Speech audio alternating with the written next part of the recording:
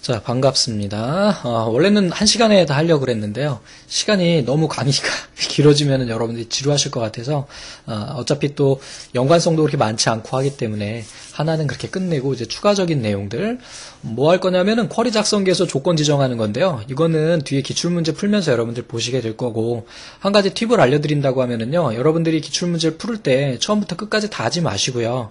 액세스 같은 경우에는 그래요. 이게 앞에 테이블 입력하는 거나 기본 쿼리 작성 작성하는 거 이런 거는 어차피 그렇게 어렵지 않잖아요. 쿼리 작성하는 좀 어렵나? 어, 그거 뭐 함수만 잘하시면 다 하실 수 있는 정도의 수준들이기 때문에 그렇게 어렵지 않으니까 뒤에 있는 이런 조회 방법이라든지 아니면은 폼 만드는 거 보고서 만드는 것만 따로 이렇게 답안을 열어서 디자인 보기에서 안에 있는 걸 어떻게 했는지 보는 것도 굉장히 빠른 공부가 됩니다. 아셨죠? 자, 그래서 우리 앞에 했던 작업을 가지고 계속해서 보게 될 거예요. 어떤 얘기냐면 제가 말씀드린 건 답안 열으셔가지고요. 다 보지 말고 이렇게 해서 디자인 보기에서 쿼리식은 어떻게 썼는지 보고 그 다음에 폼용 디자인 보기 해가지고 아 조건 어떻게 줬는지 문제하고 비교하면서만 봐도 여러분들 공부가 충분히 된다는 거예요. 아셨죠? 처음부터 다 풀어보라고 올려놓은 게 아니야. 예. 자, 그럼 우선은 첫 번째 어, 쿼리 만드는 거 다시 한번 해볼게요. 여기에다가 계속해서 추가해서 만들겠습니다. 자, 처음에는 조건이 없는 쿼리를 만들으래요. 그래서 여기에서 보시면은 만들기 하셔서 어디 있습니까? 쿼리가 여기에 있죠. 그래서 이렇게 하셔서 우리 요놈이잖아요. 보고서용 쿼리 전체 넣고 뭐 조건 없이 그냥 이렇게 다 넣으래요. 근데 뭐 이게 조건을 넣으려면은 에스터리스크를 쓰면 안 되겠죠. 왜냐하면 필드들이 안 나오니까. 그래서 뭐 예를 들어서 뭐, 뭐 이렇게 한 다섯 개 정도 필드가 있는데 조건 없이 들어가면은 그대로 모두 다 표시가 되겠죠. 됐어요? 그래서 뭐 별 의미 없는 내용이고 실제 이런 문제가 나오지도 않고요. 그래서 지워버릴게요. 자 이제 두 번째는요. 학과명이 컴퓨터 공학과인 자료를 조회하래요. 그래서 이것도 한번 만들어 볼게요. 따로. 그래서 만들기, 쿼리 이렇게 해서 여기에서 보고서형 쿼리에서 여기에서 뭐라 그랬습니까? 우리 몇 개 더 넣어야 되겠지? 그래서 뭐 이렇게 해가지고 뭐 만약에 있다 이렇게 했을 때 여기에서 학과명이 컴퓨터 공학이래요. 그러면 어떻게 해주면 돼요? 여기 학과명 있는 거에다가 밑에다가 컴퓨터 공학과를 넣어주면 되겠죠. 그래서 학과명 밑에 여기 조건이잖아요. 요 안에다가 어, 컴퓨터 공학과 이렇게 넣어주시면은 어, 떻게 됩니까? 예, 컴퓨터 공학과만 나오게 될 거예요. 이렇게 해서 열어보시면은 컴퓨터 공학과 애들만 나오겠죠. 자, 이번에는 그러면 두 번째 거를 한번 볼게요. 자, 두 번째는 어떤 문제가 있나 한번 볼까요? 자, 이번에는 보면은 점수가 250점 이상이네래요. 그럼 얘를 가지고 그냥 계속 한번 해볼게요. 디자인 보기 가셔가지고 우선은 이 뒤에 있는 누구예요? 요거 어, 없애주고요. 그다음에 점수가 안 들어가 있는 것 같아요. 그래서 점수 넣고 여기다가 250점 이상이라 그랬으니까 그냥 250 이렇게만 써주시면 돼요. 그럼 점수가 250점 이상인 애들만 나오게 된다는 겁니다. 되셨죠? 그래서 여기 보면은 점수가 다 250 이상이네요. 오케이? 자, 다음에 이번에는요. 출신고가 실업고인 거래요. 출신고가 실업고. 그러면은 이 안에서 어 무슨 뭐 무슨 산업고, 그다음에 정보고 막 이런 것들이 있는데 그 중에서 실업고만 들어가래. 그럼 뭐 에스터리스크 이용하면 되겠죠? 우선 얘는 조건 지워 주고 그다음에 출신고에다가 실업 이렇게 쓰면 되겠네요. 어, 문자를 넣었을 경우에는 는이 안 되고 에, 라이크문 사용된다는 거 자동으로 들어가기 때문에 뭐 그냥 보시면 되겠고 여기 보이시는 대로 어때요? 실업이란 단어가 들어가 있으면 다 나온다 그런 얘기죠. 그래서 우리가 앞에서 잠깐 봤던 내용하고 일맥상통하는 거죠. 다음번에 문제는 뭐가 있느냐? 이번에는 약간 좀 어, 실제 시험 문제에 많이 나오는 스타일이 되겠죠. 그래서 이건 우리가 앞에서 앞에서 해봤잖아, 그지? 그래서 학과명이 뭐라 그랬습니까? 예, 컴퓨터 공학과 이면서니까 같은 행이 돼야 되겠죠? 점수가 250 이상이래요. 어, 이렇게 작성을 해주고 닫아서 조회를 해보면 컴퓨터 공학과이면서 점수가 250 이상인 애는 딱 한 명밖에 없네요. 됐습니까? 자 그리고 뭐다 아시다시피 한 줄에다가 다 넣는 거니까 그렇게 되는 거고요. 그리고 다음번 조건 마지막 조건인가요? 음, 요걸 한번 해볼게요.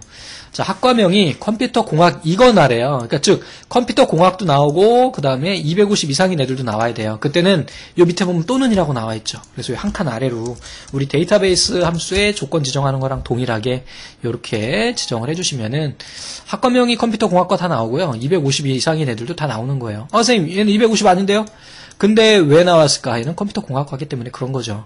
무슨 얘기인지 아시겠죠? 그래서 이런 식으로 조건을 지정할 수가 있고요. 어, 또 몇 가지 더 아- 알려드릴게요. 이건 단순한 것만 이렇게 나와 있고 뭐 여러분들 기출문제 열어보시면 아시겠지만 여기에서 그러면 음, 이런 조건도 가능하겠죠.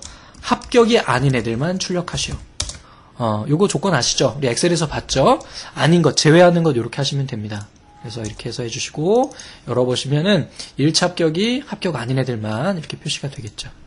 자, 다음에 이번에는요, 어, or 조건을 혹은 and 조건을 한 필드에 들어가는 경우죠. 그러니까 예를 들면 점수가 200점에서 250점 이상인 거. 우리 구간값은 뭘로 준다 그랬어요? 데이터베이스 함수에서 and 조건이라 그랬죠? SUMIF서부터 얘기했잖아. 그래서 200 이상이면서 250 이하인 경우 이렇게 주시는 거예요. 자, 이게 핵심입니다. 엑셀에서는 우리가 and 함수가 앞에 들어갔어요. 그런데 Access에서는 가운데다 쓴다는 거. 아셨죠? 어, if 함수에서도 마찬가지고 조건도 마찬가지예요. 자, 이렇게 하면 어떻게 되는 거예요? 예, 200에서 250인 애들만 예, 나오겠죠. 이렇게 해서 쭉 보시면은 어때요? 예, 200에서 250인 이상 애들만 예, 값이 나오겠죠. 자, 이번에는 그러면은요, 이런 것도 한번 해볼게요. 음, 여기다가 이렇게 지우시고요. 이번에는 뭐라고 할까? 음, 그래. 출신고가, 출신고가 우리 항목들이 실업고하고 정보고, 이렇게 두 가지가 있었나요? 전체 데이터가 얼마나 어떻게 되는지 한번 볼까? 어, 우리가 실업고하고 정보고만 있었네. 그러면 이거 빼고, 아, 지원자가 김 씨 또는 이 씨인 경우. 한번 해볼까요? 어떻게 하면 돼요? 자, 김 씨니까요. 김 에스터리스크. 또는이라고 그랬죠? 어, 이 씨. 이 씨가 있었냐, 근데? 이 씨 있나요? 볼까? 이 씨가 있나? 어, 있네. 그 다음에 김씨도 있네. 그죠? 자, 이렇게 해서 해놓으면은, 김씨와 이씨인 경우. 그지? 김씨나 이씨. and로는 줄 수가 없는 거 아시죠? 음, 이씨나 김씨만 나오는 거죠. 또는 조건으로 줘서. 그래서 이런 형태의 문제도 자주 나오게 된다는 거 기억하고 계시기 바랍니다. 그래서 and or를 아예 이 안에다가 넣어서 사용할 수 있는 문제들도 아, 요즘에 아주 자주 출제되니까 이것도 하나 알고 계시면 좋을 것 같아요. 조건 다 빼고요. 이렇게 놔둬 볼게요. 그래서 여러분들도 어, 이런 식으로 해서 만들어 보시기 바랍니다. 요거는 또 지울게요. 연습이니까. 자, 다음에 이번에는요, 어, column 형식 폼을 만드는 거예요. 자, 이게 원래는 2008년? 2009년까지 아마 출제가 되고 그 뒤로 이제 목록 상자가 나왔는데, 어, 이거는 왜 요즘에 출제가 안 되냐면은요, 아시잖아요. 출력물로 채점하다 보니까 그냥 그려서 내는 거야, 사람들이. 그냥 그려서 타이핑으로 텍스트 상자하고, 그 다음에 뭐야, 레이블을 이용을 해 갖고, 그냥 그래서 낼 수가 있잖아요. 그런 그런 거 너무 많으니까 이제 목록 상자로 아, 사용이 되는 거고요. 아, 요거는 이제 왜 하냐 하면은 사실 요즘에 출제가 되지 않습니다. 전혀 출제가 안 되는데 딱 한 군데 출제가 돼요. 액세스의 돌발 문제가 돌발 문제 중에 들어보신 분도 계시겠지만 아, 정은택 문제라는 게 있습니다. 얘는 좀 짜증나요. 그래서 여러분들 교재 뒤에 보면 있습니다. 걔가 그래서 뭐 걔를 한번 풀어보시길 바래요. 왜냐하면 지금 한 3년째 돌발 문제 회당 한 0.5회 그러니까 1년에 한 번 반, 1.5배 정도는 나오거든요. 1.5배 정도 나오거든요. 그러니까 한 번 정도 여러분이 만날 수 있는 가능성이 있는 문제예요. 그래서 꼭 좀 풀어보세요. 그 문제 풀 때 얘가 필요해요. 이 기능이. 걔 같은 경우에는 이렇게 column 형식으로 만들고 밑에다 목록 상자를 또 추가해요. 그러니까 두 개를 혼합한 형태의 문제야. 굉장히 짜증나는 문제죠. 어, 그래서 이 column 만드는 거를 한번 만들어 볼게요. 자, 어렵지는 않아요. 간단해요. 그래서 이렇게 노- 옆에다 놓을 테니까요. 여러분들은 교재로 한번 보세요. 그래서 만들기. 얘는요, 폼을요, 만드는데 폼 디자인으로 하지 않습니다. 얘는 폼 마법사를 이용해야 돼요. column 형식은요, 아셨죠? 달라요. 자, 폼 마법사를 하고요. 그리고 얘는요, 여기에 나오는 폼용을 사용하지 않아요. 얘는 조회 검색 조건이 없어요. 여기서 누구를 뭐, 여기서 뭐 A로 시작하는 혹은 이씨로 하는 것만 나타내라는 조건이 없잖아요. 만약에 나온다면, 그렇게 해주면 되지 뭐. 근데 조건이 없기 때문에 얘는 그냥 보고서용으로 사용합니다. 조건이 있으면 따로 폼 만들어 주는 거예요. 우리가 어, 앞에서 목록상자형 폼에서 쿼리를 다시 만든 이유는 뭐야? 두 개를 만든 이유는 검색 조건이 있기 때문에. 그러니까 보고서에서 표시될 것과 뭐 예, 폼에서 표시될 값이 틀리기 때문에 그래요. 근데 지금 컬럼 형식 예전에 출제됐을 때는 어때요? 보고서에서 표시되는 값과 그 다음에 어, 폼에서 표시되는 값들이 같았어요. 그렇기 때문에 쿼리 하나 만들었었죠. 자, 헷갈리면 안 됩니다. 이걸 이렇게 한 이유가 왜, 왜 얘는 보고서용으로 쓰는지, 예, 검색 조건이었기 때문이에요. 자, 그럼 여기에서 들어간 필드들을 넣어주면 돼요. 뭐야, 수험번호, 지원자, 그리고 점수, 그리고 출신고, 학과명, 1차 합격. 이렇게 되겠네요. 그 다음에 다음, 그 다음에 여기서 컬럼 형식이에요. 다음, 그리고 2003 형식으로 해요. 다음, 그 다음에 수정 이렇게 누르면 이런 식으로 쭉 나오게 됩니다. 뭐 잘 모르시겠죠? 이게 지금 뭔지 어떤 모양인지. 그래서 이거를 이제 마우스 오른쪽 디자인복에 가셔가지고 하나씩 하나씩 디자인을 해주면 돼요. 자 우선은요 어, 맨 위에 있는 이 제목을 아래쪽으로 내릴게요. 얘를 끌 때 만약에 이렇게 뭐 모서리를 자꾸 끈다든지 하면은 얘가 밀려 내려갈 수가 있거든요. 그러니까 어떻게 해야 돼요? 여기에서 테두리 위에 테두리 잡고 훅 밑으로 내리세요. 그럼 밑으로 내려갑니다. 그리고 위에 얘는 없애주세요.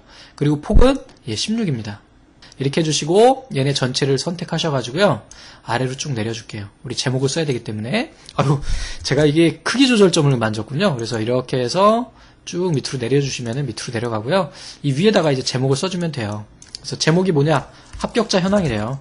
이렇게 해주시고 얘도 쭉 늘려주신 다음에 폼에 가셔서 가운데 정렬해 놓고 어 뭐 더블 클릭해가지고 이렇게 늘려주신 다음에 에, 어차피 폭이 16이기 때문에 이렇게 맞춰주시면 되겠죠. 됐죠? 이게 16.5 여기구나. 여기까지 해야 되겠다. 16까지. 자, 그 다음에 여기에 나오는 얘네들이에요. 얘네들이 지금 크기가 좀 커요. 왜냐면 우리가 앞에서 교재에는 나와 있지만 안 한 게 뭐가 있냐면 필드 크기라는 게 있어요. 자, 수험 번호의 필드 크기가 이만큼 크다는 거고, 뭐, 그래서 이제 넓게 나오는 건데요. 그리고 얘네도 지금 다 보고서처럼, 우리 보고서 마법사인 것처럼, 어, 얘네가 묶여 있어요. 그래서 얘네를 정렬해 가셔가지고 컨트롤 레이아웃 가셔서 여기 해제를 눌러주세요. 그러면 얘네가 다 해제가 됩니다.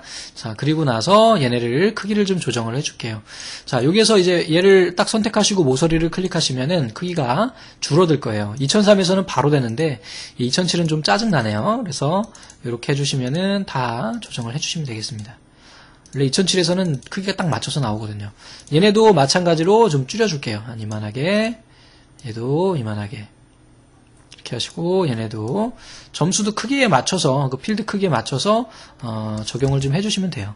그래서 크기를 이렇게 맞춰주시고 얘도 이렇게 맞춰주시고 어, 얘도 이렇게 좀 줄여주시면 됩니다.